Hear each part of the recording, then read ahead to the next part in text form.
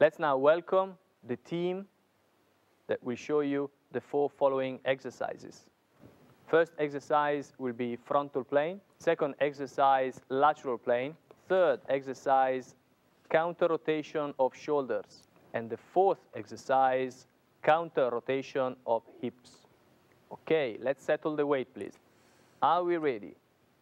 Five, six, seven, eight. One, two, three, four, five, six, seven, eight. One, two, three, four, five, six, seven. Faster. One, two, three, four, five, six, seven, eight. One, two, three, four, five, six, and thank you very much. And relax. Let's now move to the second exercise, please. Let's settle the weight. Are we ready?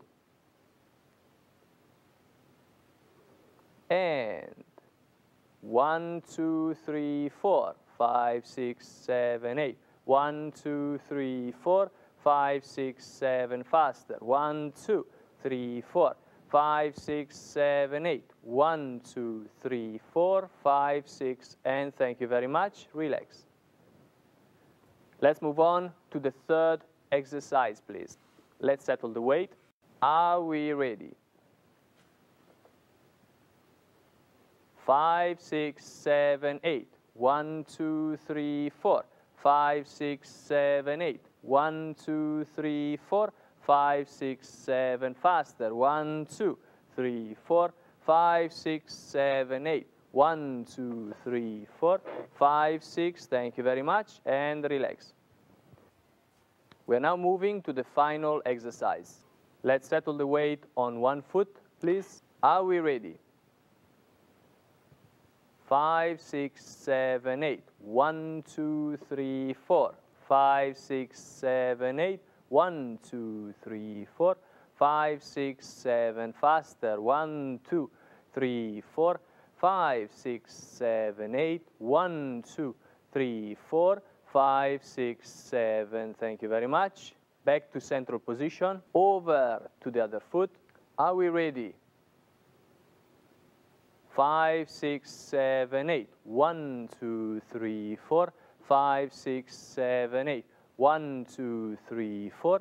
Five, six, seven. Faster. One, two, three, four. Five, six, seven, eight. One, two, three, four. Five, six. Thank you very much. Back to central position, relax. Now that you have an understanding and you have seen the exercises executed from our team, I would like you to practice them and separate with music and without music. I will once again stress the importance of practicing these exercises slowly with a full awareness of the weight position. So now you should have a good understanding of what is balance. You should have a good understanding of how you can move your body without changing your balance position.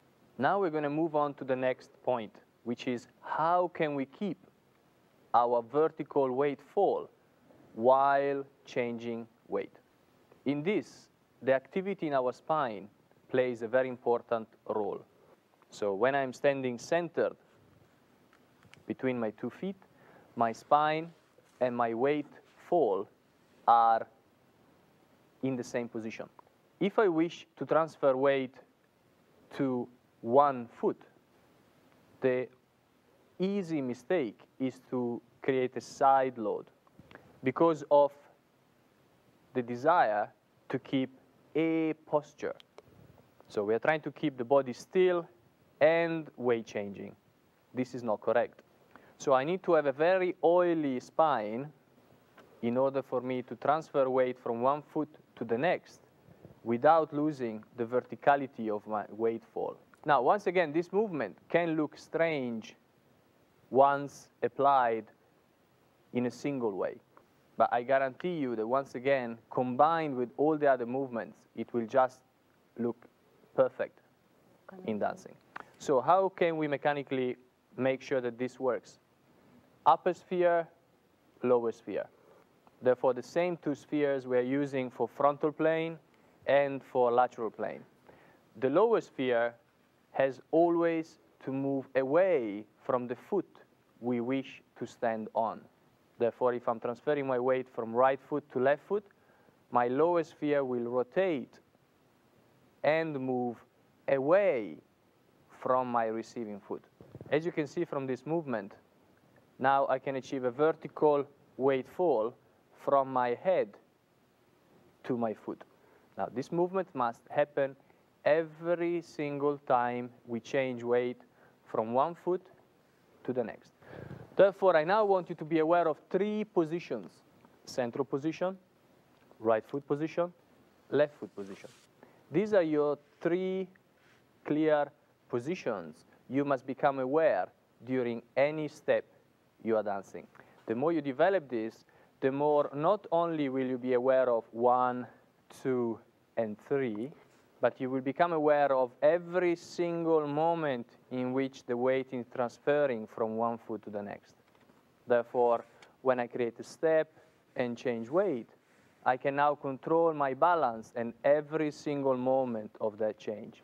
Instead of being able to control my balance on my left foot and then on my right foot. Of course, on the video dedicated to the balance of movement, more of this information will be joined and you will have a better understanding of the overall usage of the body. So for the moment, I just would like you to practice this very simple exercise. Feet are open, we settle the weight, we still find that vertical weight fall that we discussed earlier. We are now transferring weight to one foot, still finding the vertical weight fall, then going back to the other foot. As you can see, the upper sphere and lower sphere are now moving away from each other with a slight rotation so that overall my shoulders are still in line with the floor. What do I feel as I transfer weight? I feel the total control of my weight change with no side load. When we now change weight while we are stepping, we need to understand that we have to use the same mechanics that we are using to transfer from right to left and from left to right. So I will not just walk forward or backwards, but every step will be a combination of a forward and side movement. I repeat that because that's another key point. It's a forward and side movement. So if I'm standing on the middle of my feet with the balance on the center, the first movement is a side movement. Now I have free leg. Earlier we understood how to use the two hip joints. Once I create the step, my weight is now transferring forward and moving to the center. So at this moment in time, I am centered in both planes, frontally and also sideways. Once I'm in the central position, now I have to arrive on my other foot and therefore continue the movement sideways. So I'm now moving forward and to the right. So I can feel again vertical weight fall. Then I can place my left foot, center myself on both planes, and transfer to my left foot. The more you become aware of this movement, the faster you can create this walk, which looks, I agree, very strange. But you can see that my weight fall is constantly in control and vertical. Therefore, it doesn't matter if I'm dancing a feather step, two walks in tango, a natural turning waltz, any step. I have two feet, and all I can do is transfer from one foot to the next foot. As I stated earlier, once I combine this movement with everything else, you will not see this movement. So if I transfer from one foot to the next foot, you do not see this movement anymore. All you see is a powerful weight transfer from one foot to the next.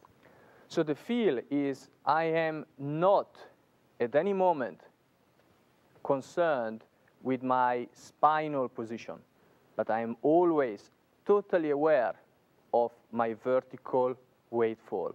So, small example, promenade position. And let's combine now all the exercises.